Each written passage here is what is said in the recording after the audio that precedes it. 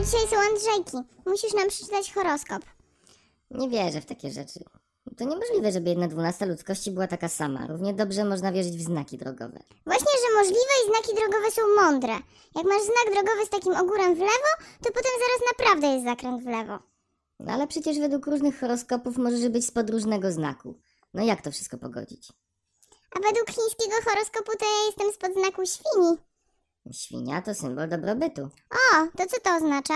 Że gruba będziesz. Wcale nie wiadomo. Horoskopy nie służą do wróżenia. Do wróżenia są wróżby z czegoś, a my nawet nie mamy z czego wróżyć.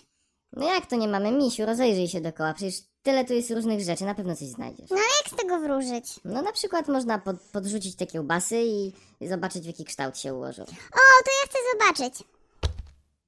O, co to jest?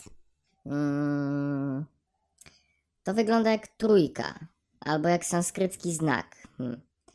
Czyli Indie.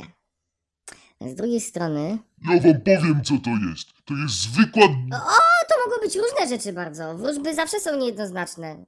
Inaczej nie zrobiłyby takiej furory. Człowiek nigdy do końca nie wie, co sobie wywróżył, no a potem jak już coś się stanie, dopiero to dopasowuje sobie wróżbę pod dane zdarzenie i potem twierdzi, że wróżba była udana. A ja wam mówię, że to jest wielka dupa i że to znaczy, że będziesz gruba. Sam jesteś gruby. No ale się obraziła od razu. Zawsze się obraża dopiero, jak się jej drugi raz to samo powie. A nieważne, choć powróżymy sobie z browarów.